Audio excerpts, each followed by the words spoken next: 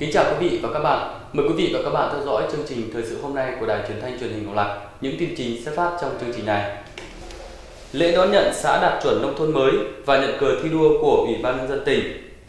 Chủ tịch Ủy ban nhân dân huyện khen thưởng đột xuất cho cán bộ chiến sĩ công an huyện. Tin về một số các hoạt động khác, sau đây mời quý vị và các bạn theo dõi nội dung chi tiết.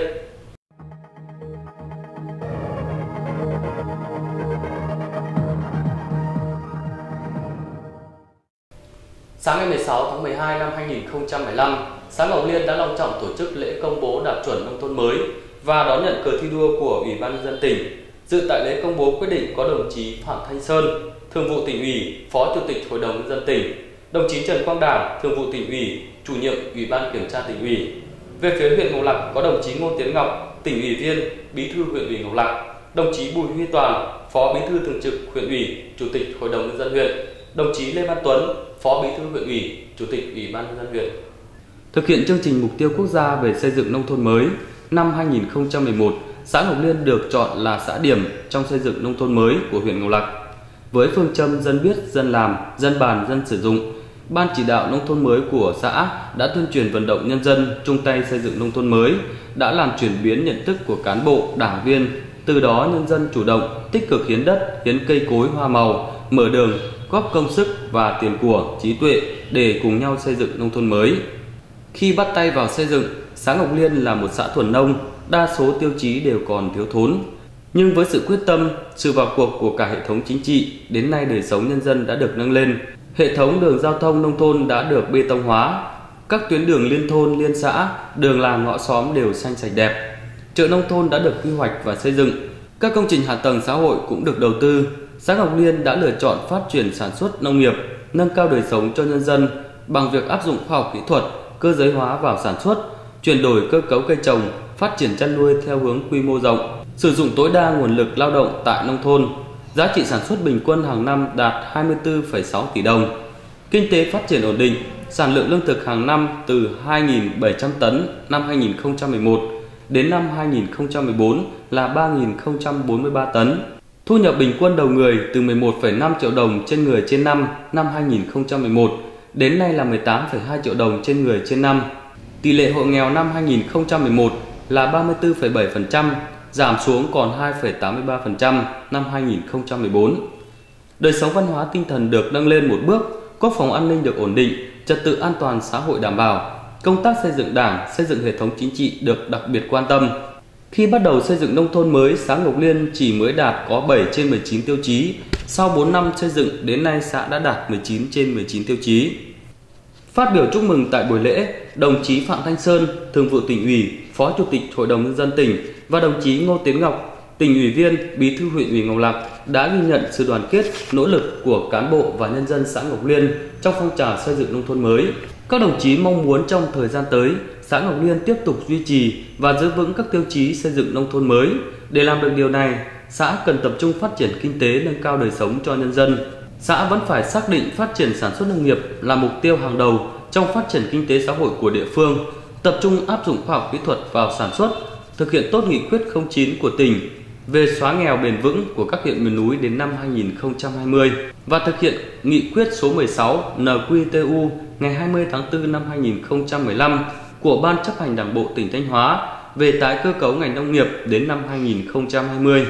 định hướng đến năm 2025 theo hướng nâng cao năng suất chất lượng, hiệu quả, khả năng cạnh tranh và phát triển bền vững. Trong thời gian tới, xã Ngọc Liên tiếp tục phát huy những kết quả đã đạt được, củng cố xây dựng duy trì các tiêu chí và phấn đấu là xã kiểu mẫu điểm của tỉnh Thanh Hóa. Xã cần xác định nhiệm vụ trọng tâm hàng đầu là lấy phát triển sản xuất làm gốc, giúp người nhân dân nâng cao thu nhập, thoát nghèo một cách bền vững, tập trung phát triển sản xuất, tái cơ cấu nông nghiệp gắn với xây dựng nông thôn mới theo nghị quyết 16 của tỉnh ủy, đồng thời thực hiện có hiệu quả nghị quyết 09 về tăng cường sự lãnh đạo của Đảng đối với công tác giảm nghèo nhanh và bền vững ở các huyện miền núi Thanh Hóa. Thứ hai là đẩy mạnh việc chuyển đổi cơ cấu cây trồng vật nuôi theo hướng nâng cao giá trị, đồng thời áp dụng tiến bộ khoa học công nghệ vào sản xuất, chế biến gắn sản xuất với thị trường. Phát triển chăn nuôi theo hình thức trang trại, đảm bảo an toàn dịch bệnh, gắn với bảo vệ môi trường. Theo đó, xã cần nhân rộng các mô hình phát triển có hiệu quả như mô hình chăn nuôi trâu, thịt, bò thịt, mô hình chăn nuôi nông hộ tận dụng đất vườn đồi để phát triển sản xuất Đẩy mạnh quá trình chuyển dịch cơ cấu kinh tế nông nghiệp và nông thôn, chú trọng phát triển các ngành nghề, dịch vụ gắn với việc bảo vệ môi trường, tạo công an việc làm cho lao động nông thôn, góp phần đưa lao động nông nghiệp sang các ngành nghề khác để có thu nhập cao hơn. Đề nghị tiếp tục quan tâm chú trọng nâng cao chất lượng các hoạt động văn hóa, y tế, giáo dục, tổ chức các hoạt động văn hóa văn nghệ gắn với phong tục tập quán của đồng bào dân tộc, qua đó giúp người dân nâng cao đời sống tinh thần và vật chất, thực hiện có hiệu quả cuộc vận động toàn dân đoàn kết xây dựng đời sống văn hóa ở khu dân cư. Một vấn đề nữa phải quan trọng giữ gìn, giữ vững an ninh trật tự trên địa bàn xã, đảm bảo cho các tổ các tổ chức, các doanh nghiệp và nhân dân có cuộc sống an bình và yên tâm sản xuất kinh doanh. Coi trọng công tác xây dựng đảng, nâng cao chất lượng đội ngũ cán bộ đảng viên và hoạt động của các tổ chức chính trị xã hội trong xã, phấn đấu tổ chức đảng, các tổ chức chính trị xã hội và đoàn thể trong xã phải trong sạch vững mạnh. Đây là một trong những tiêu chí bắt buộc. Tại đại hội lần thứ 18, Đảng bộ tỉnh tiếp tục xác định chương trình phát triển nông nghiệp và xây dựng nông thôn mới là một trong năm chương trình trọng tâm xuyên suốt từ nay đến năm 2020 và mục tiêu của chúng ta phấn đấu là phải 40% xã được là nông thôn mới. Đây là nhiệm vụ lớn có ý nghĩa rất quan trọng. Vì vậy tôi đề nghị huyện Ngọc Lặc và các xã trong huyện cần tập trung làm tốt mấy việc sau đây. Thứ nhất là cần tiếp tục đẩy mạnh công tác tuyên truyền, vận động nâng cao nhận thức để người dân chủ động, nhiệt tình, tích cực tham gia, thực sự là chủ thể xây dựng nông thôn mới phấn đấu các xã còn lại từng bước đạt các tiêu chí xây dựng nông thôn mới theo chuẩn quy định của văn phòng điều phối mà đã tham mưu cho sở nông nghiệp phát triển nông thôn. Đó là các cái xã trong chưa xây dựng được nông thôn mới thì cũng phải đạt chuẩn theo quy định. Thứ hai là đẩy mạnh phong trào thi đua xây dựng nông thôn mới gắn với sự xây dựng xã kiểu mẫu và làng kiểu mẫu. Đây là một tiêu chí bắt buộc trong cái xây dựng nông thôn mới. Thứ ba đề nghị huyện Ngọc Lặc cần tập trung lãnh đạo, chỉ đạo tháo gỡ khó khăn vướng mắt cho các xã trên địa bàn nói chung, cũng như xã Ngọc Liên nói riêng để các địa phương thực hiện có hiệu quả chương trình xây dựng nông thôn mới, góp phần hoàn thành thực hiện các mục tiêu về nhiệm vụ về phát triển kinh tế xã hội theo nghị quyết đại hội đảng bộ huyện đã đề ra. Vui mừng và tự hào với những kết quả đã đạt được, trong buổi lễ trang trọng này, xã Ngọc Liên đã được Ủy ban nhân dân tỉnh trao bằng công nhận xã đạt chuẩn nông thôn mới và nhận cờ thi đua của tỉnh cũng tại buổi lễ, đại diện cho Ban chỉ đạo nông thôn mới của tỉnh, của huyện đã trao phần thưởng của tỉnh và huyện cho xã Ngọc Liên về thành tích đặc biệt đã đạt được trong thực hiện nhiệm vụ quốc gia về xây dựng nông thôn mới.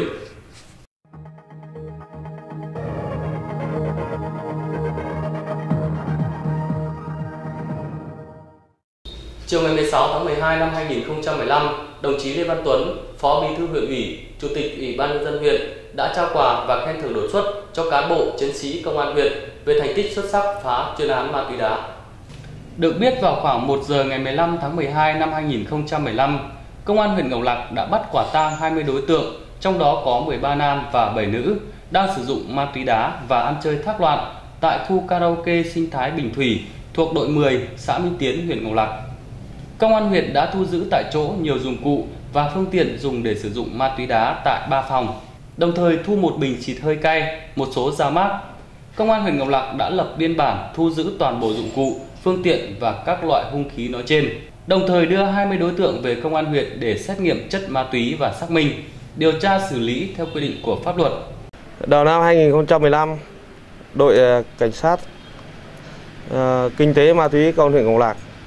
chúng tôi đã triệt phá một chuyên án bắt 01 bánh heroin, khởi tố một đối tượng. À, vụ án này chúng tôi đã chuyển phòng à, cảnh sát điều tra về ma túy công an tỉnh Thanh Hóa để điều tra theo đúng thẩm quyền. À, trong năm 2015 à, và giữa năm thì chúng tôi đã tổ chức bắt hai vụ khởi tố hai đối tượng về hành vi uh, buôn bán trái phép chất ma túy.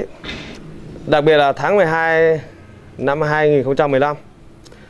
lực lượng uh, đội cảnh sát uh, kinh tế ma túy công an huyện Ngọc Lạc